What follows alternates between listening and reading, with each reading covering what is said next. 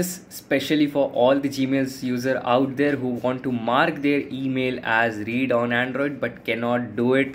So this tutorial is just for you.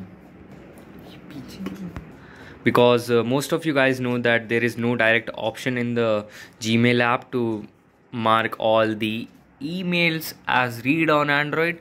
So even on all the other os so simply open the chrome app or any browser after getting into this simply type gmail or open the gmail website. So i'm signing in here. You have to do the same. So after getting into the web version of it simply tap on these three dots and uh, here tap on desktop site.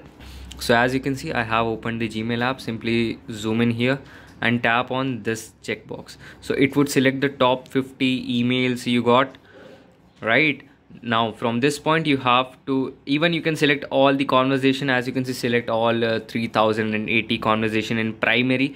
So you can mark every single email as read on your gmail app. So here is how to do it. Simply if you want to do that you can do it. Simply here tap on these three dots. And here is an option of mark as read.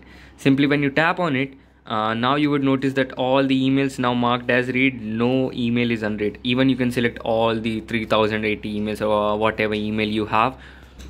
Isn't it insane how useful it is? So don't forget to hit the like button and subscribe to backdroid.com i will see you again. Not again but don't forget to hit the like button